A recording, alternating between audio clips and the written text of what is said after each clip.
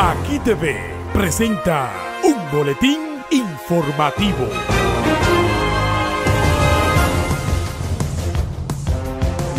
Las lesiones cerebrales, fruto de combinaciones de sustancias como alcohol, estimulantes sexuales, bebidas energizantes, cocaína y tabaco, también han ido en aumento entre la población joven del país.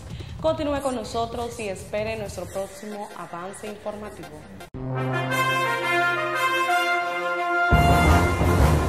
Aquí TV presenta un boletín informativo.